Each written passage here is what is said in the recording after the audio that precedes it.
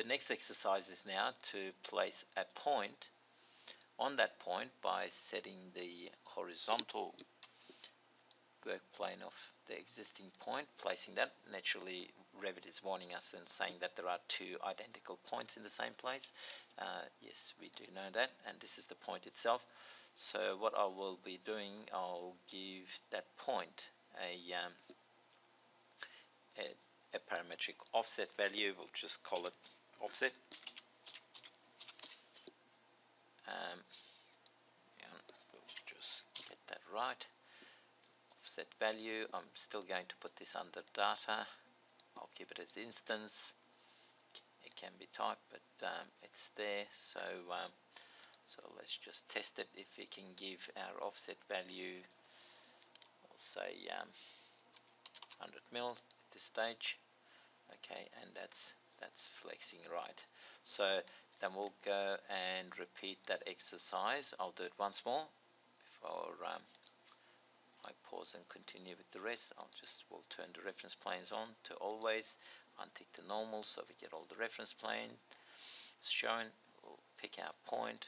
We'll set our by using tab key setting our point which is okay. Now selecting the point. And obviously we want that to go to the opposite side as a thickness. So then I will be um, I will be creating another offset parameter which I'm going to call this one offset say negative and put it under data group for the formulas so then we've got that. So what I'll do go back to the family types and what I'll just say offset really equals to the thickness of our material. So we'll just place that and apply. So that's the thickness. And then the offset negative itself will be negative value of our offset parameter. So once we apply that so now we've got those two points corresponding to the thickness of the material that we will be using. So uh, Dan will repeat that information around. I'll just pause the video again. Okay, now we have all, all the points around around the points. As you can see, it's been placed as an offset parameter, which is uh, driven by the thickness. Now I'll go to back to the reference lines and then drive my secondary frame for the surfaces of that material that we will be using. So just repeat that on this side as well. Some people might be wondering why I didn't really um, extrude the top top panel and just arrive the same um, result rather than doing this long way of doing all that.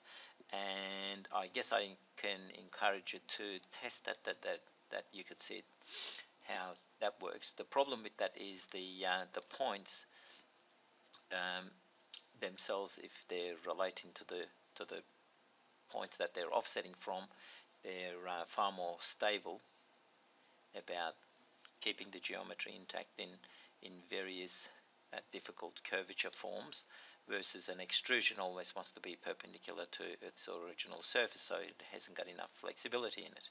Um, so uh, and that, that was one of the critical points of putting really this family together is actually by creating these two surfaces to create the thickness of the material as such.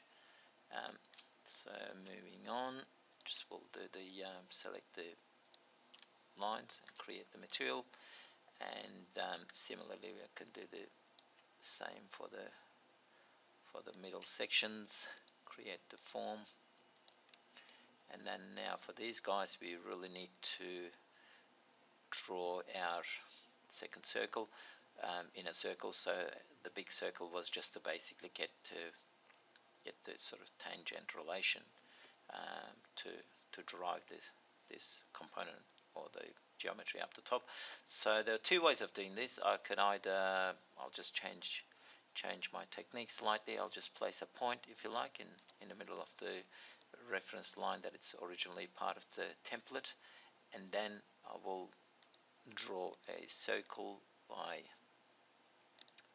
selecting the reference plane of this turn that into a dimension and apply the small circle parametric value so then I could pick the original line itself as well as that and um, and create create the form. And once the form is created I'll just select the form and I'll in that form I will just say lock profiles. Uh, basically the reason I've done that so it's, it's when it flexes it will keep its uniform size right across the cylinder rather than just changing the middle part uh, bowing in and out. So uh, so that's just a, another little technique or tip. Uh, we'll do we'll do the same again. Center uh, place our circle by selecting surface parametric value there.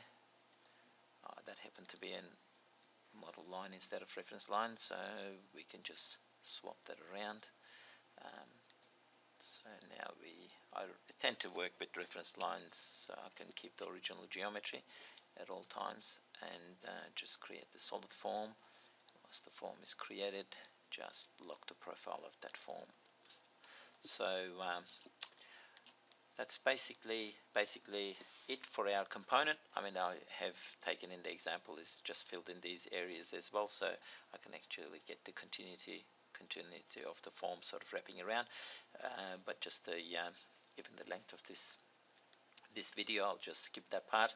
I'll um, load that into the project. Of course we do have no project so let's open a um, open a, what I called it a basket case uh, template which is basically a um, it's a it's a again bunch of curve reference line uh, with a reference line that we will revolve around to create our basket. Um, so we'll just select by lines and create the form. Yes we wanted to 360 revolve so we've just got a, a basic basket has been created.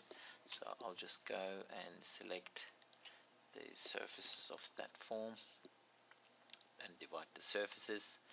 Uh, as we used it before I'll just use one and a half step pattern.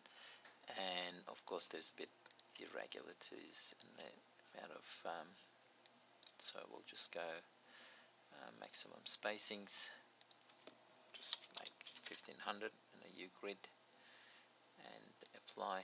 So that should even out a bit more and the next thing problem that I could see obviously that surface uh, stitching with that surface the um, the pattern needs to be moved. So I'll just select the surface and I'll just indent that pattern by one. And as you can see now it's got the same relation. Make sure the other one is has been yes it is. Okay well we'll change that as well. Uh, I guess what I could have done, I could have just moved the top one instead of moving two bottom ones, but anyway.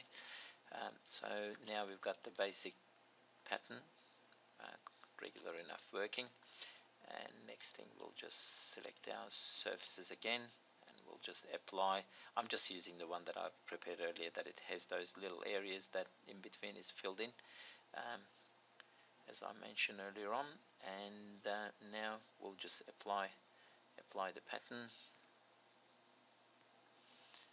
so it's taking its its time 15% it, it is a quite a complex complex pattern to generate and voila. So uh, just looking ar around very nicely everything is working and,